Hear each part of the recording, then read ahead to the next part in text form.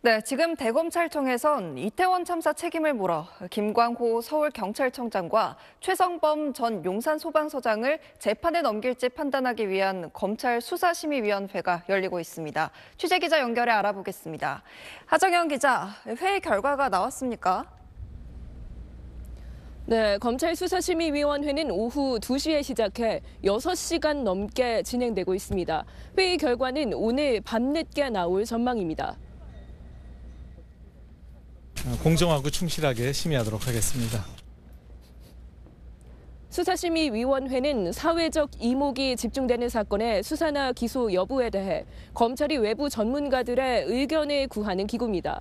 김광호 서울경찰청장과 최성범 전 용산 소방서장은 경찰이 지난해 1월 업무상 과실치사상 혐의로 검찰에 불구속 송치했습니다. 그런데 기소 여부를 두고 검찰 내 의견이 엇갈리며 1년 동안 결론을 못 내리자 이원석 검찰총장이 위원회를 소집한 겁니다.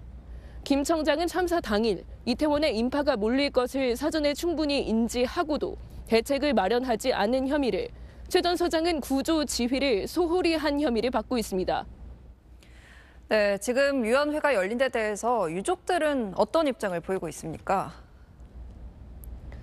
네, 유족들은 회의에 앞서 기소 여부 판단을 왜 외부 인사에 묻느냐며 검찰의 결단을 촉구했습니다.